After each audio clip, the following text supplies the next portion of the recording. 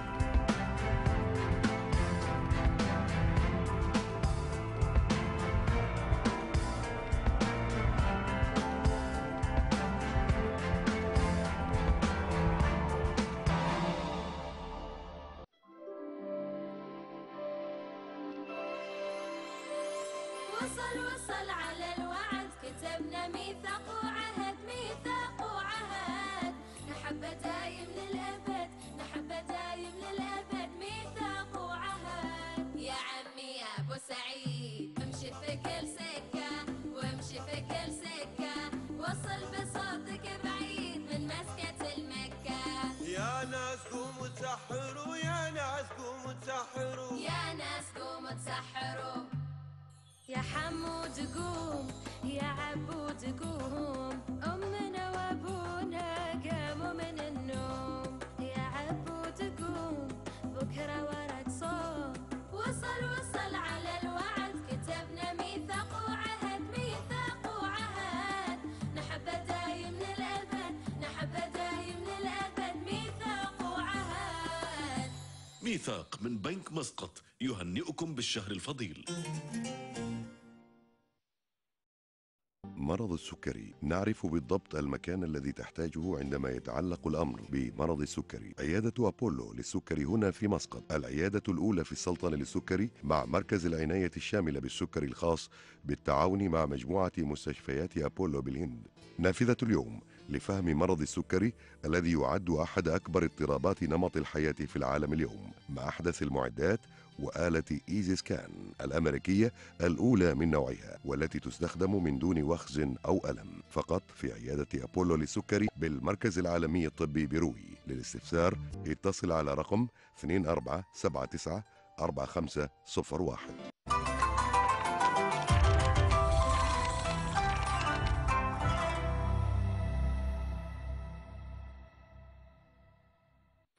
كيفك اليوم أبوي؟ إن شاء الله أحسن. الحمد لله يا ولدي. أحسن. بس أنت لا تكدر نفسك. سلامتك يا أبوي. أنت عاني يا أبوي بس ما راضي تخبرنا. أنا بخير. ما في شيء. بس إن شاء الله وعكة بسيطة. وبتعدي يا سالم المهم خبرني. كيف العمل معك؟ شغل زين أبوي. وأنا أخذت إجازة. ليش يا ولدي؟ ناوي أشلك الخارج الحلاق أبوي. لا يا ولدي ما بروح. كيف تودر شغلك من وين بتجيب فلوس؟ أنت حيلة هذاك الراتب أنا بعت سيارتي يا أبوي. وليش بعد سيارتك يا ولدي وما شاورتني؟ أنت حيلتك هذيك السيارة. وراح تبيعها. أنت راس مالي يا أبوي. وما في خير إذا ما بريت بك اليوم. أنت شقيت وتعبت عشان تأكلني لقمة العيش. واليوم كل بساطة أتخلى عنك؟ لا والله يا أبوي. أنت أصل الخير والبركة. وسعدت إني أشوفك صاحي وما فيك مرض. الله يبارك فيك يا ولدي يا سالم ويعوضك إن شاء الله.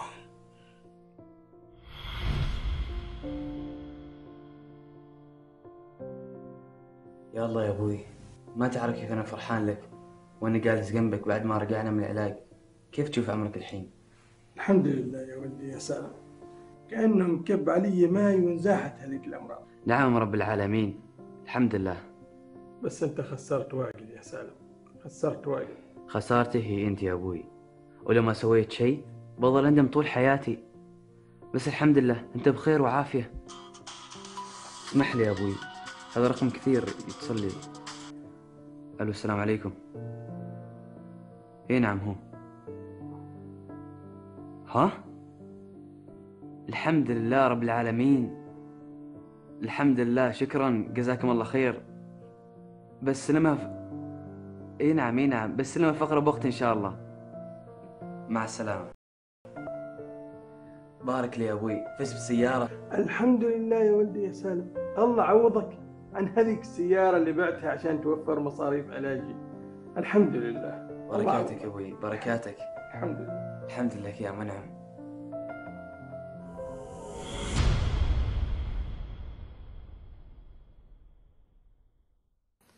بارك الله في مثل هذا الابن البار. هذا الابن ما فكر فيما يملك لأنه يتذكر فضل والديه عليه ويعلم تمام العلم بأن وقفته مع والديه هي عبادة لله ومن أحسن لوالديه جازاه الله الخير وعوض الأجر وهذا ما حصل معه في الواقع. ووالله كم مثله من البارين بوالديهم ممن يفتخر بهم ويشاد بهم بين الناس. وفي المقابل يتملق البعض بوالديه في الظاهر ويكتب أحسن العبارات في الدفاتر وألطف الألفاظ في المنتديات وينتقي أحسن الأشعار في المواقع. ولكن في واقع تعامله عكس هذا محبة الوالدين فعل قبل الكلام المنمق. البر بالوالدين الإحسان إليهم باللفظ الرقيق والطاعة من غير معصية الخالق. من يحب والديه ويريد إرضاء الخالق بالإحسان إليهم ويتمنى دخول الجنة. لا ينافق. يعني يتظاهر بحبهم ورعايتهم وهو في الحقيقة من أقسى الناس معاملة بوالديه. هذا مثل لابن يظهر بغير الحقيقة في تعامله مع والديه.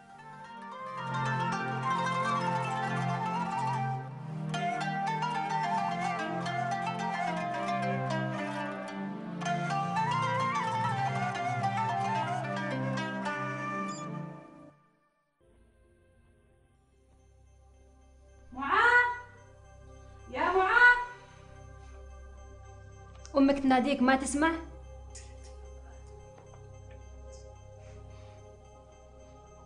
معاذ يا ولي أناديك. ما تسمعني؟ وإيش فيه؟ أباك تصير الدكان تجيب خبز حلا عشاء. قلت لك مشغول. أفا يا ولي تريدني أنا اللي أروح الدكان أجيب عشاء؟ قلت ليش مشغول؟ يعني لازم أعيد في الكلام؟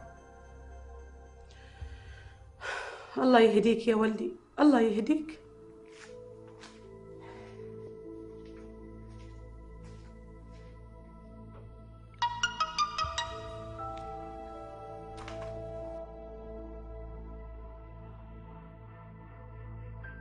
يعني أنت تكتب في التويتر أمي الجميلة أسأل الله أن يعين على برك ورضاك.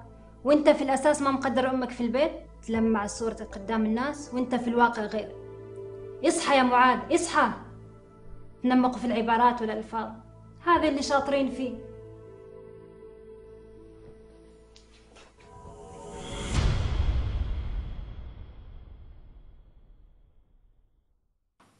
ما أقسى قلب الإبن. لما ينكر فضل والديه عليه.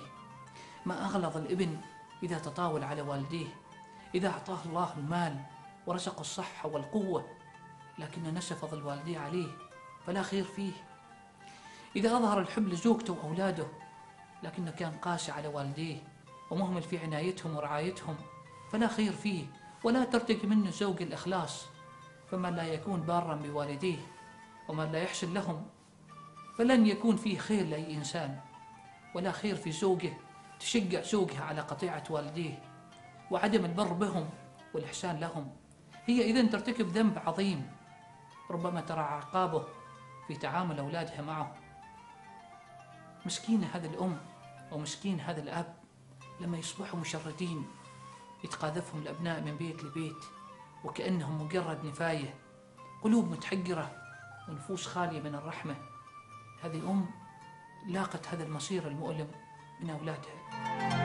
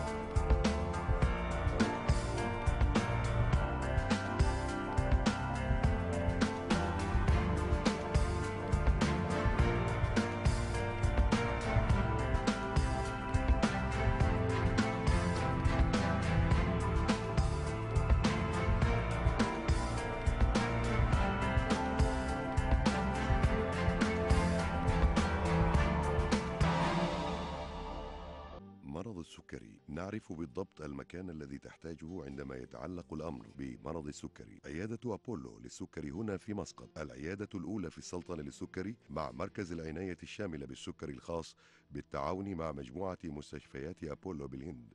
نافذة اليوم لفهم مرض السكري الذي يعد أحد أكبر اضطرابات نمط الحياة في العالم اليوم. مع أحدث المعدات وآلة EZScan الأمريكية الأولى من نوعها والتي تستخدم من دون وخز أو ألم فقط في عيادة أبولو للسكري بالمركز العالمي الطبي بروي للاستفسار اتصل على رقم 2479 4501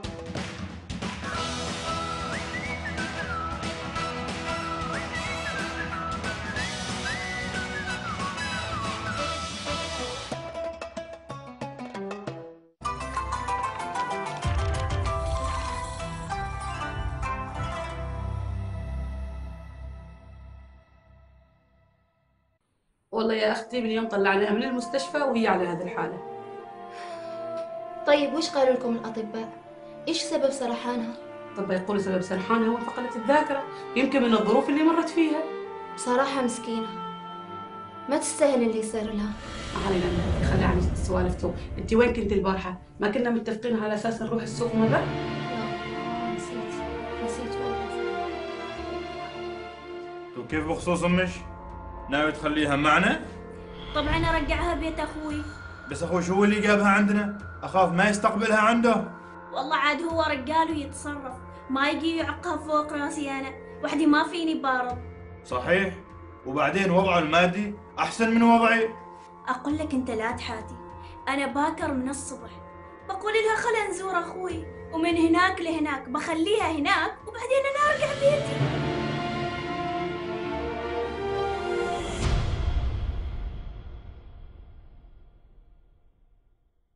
توقف الكلام عند الأم. إيش تقول؟ انتهى الكلام لأن الكلام فوق ما تحتمل.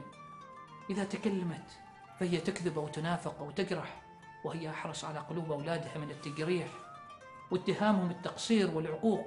الأولاد غاليين على الوالدين مهما لاقوا منهم من قسوة وهجران وزجر وعصيان. وكما تحملت الأم وتحمل الأب مشاق الحياة من أجل سعادة أبنائهم تتحمل قلوبهم اليوم.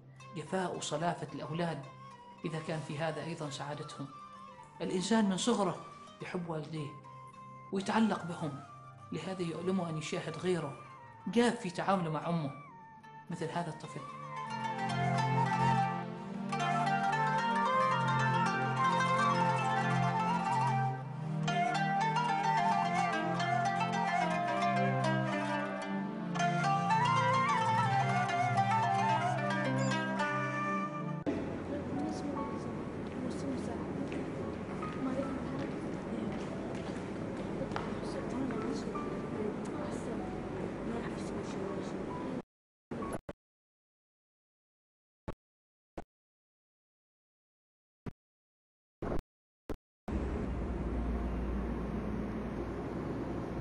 وين أستاذ اللغة العربية.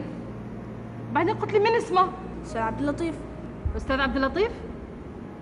طيب أبغى أروح أشوفه أنا عند المدير وأشتكي عليه. وإذا بغيتك راح أناديك. سالم ليش ما حبيت يد أمك لما خابرتها؟ يا أخي كيفي وأنا حر؟ هذه أمك حملتك تسع أشهر وسهرت عليك وتعبت عليك. كذا تخابرها؟ مزاج أنت إيش دخلك؟ ما دخلني شيء بس حبيت أنصحك.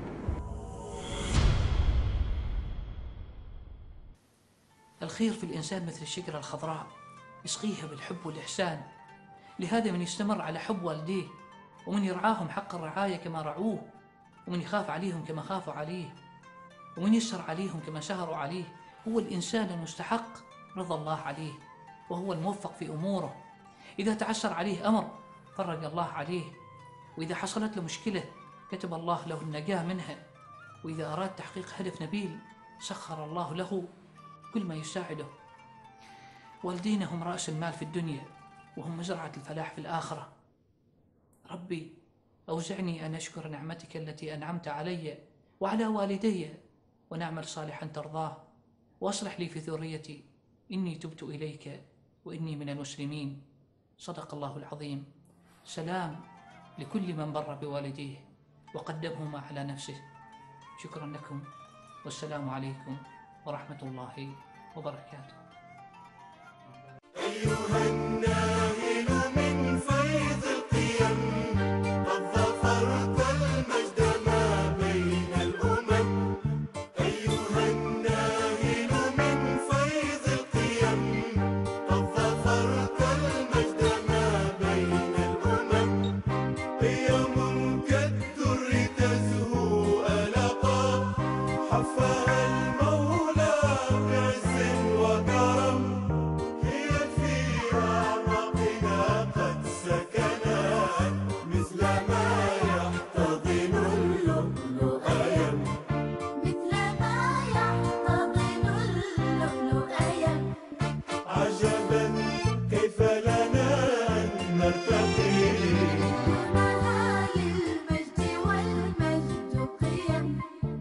عجبا